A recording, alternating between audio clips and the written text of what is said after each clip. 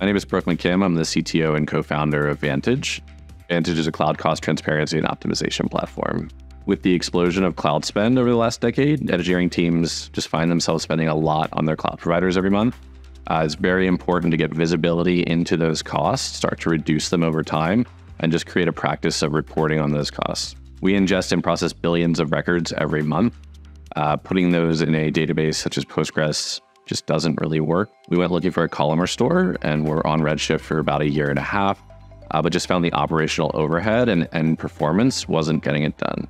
As our data scaled, we found we kept having to size up our Redshift cluster, both vertically and horizontally, because we were constantly having to run vacuum jobs and just those jobs were taking six to eight hours to complete. And so moving over to ClickHouse, we were basically able to cut that bill in half uh, because we can continue to load more data into the system without the need to vacuum or any of the other operations we had to perform in Redshift. We evaluated both Druid and Pinot along with ClickHouse, but the operational overhead just seemed too high um, and the getting started process with ClickHouse Cloud was just super easy. And the transition from Redshift to ClickHouse was actually very straightforward.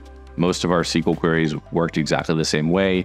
We were already using S3 to load data into Redshift, and so we just started loading the data from S3 into ClickHouse as well in parallel, and then just slowly started moving queries over. With Redshift, certain queries were taking tens of seconds, and you can't have the customer waiting that long to get the results. That 30 second query now takes a couple seconds or under a second in some cases. And then we've also just gotten general feedback that every page loads faster, filtering a specific report loads faster, and just all around all around better experience.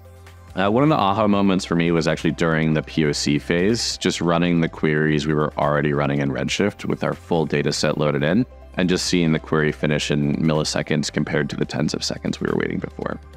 I wish we had adopted ClickHouse Cloud sooner, to be honest. Um, we spent a lot of time spinning our wheels looking for the right solution.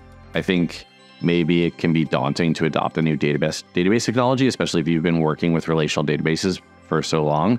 Uh, but it's actually really easy to get started with and very straightforward once you get going. If ClickHouse went away tomorrow, I would have to hire a lot more uh, engineers onto my team. Whereas opposed with ClickHouse Cloud, it just kind of operates itself and has been able to I've been able to keep my team much smaller as a result.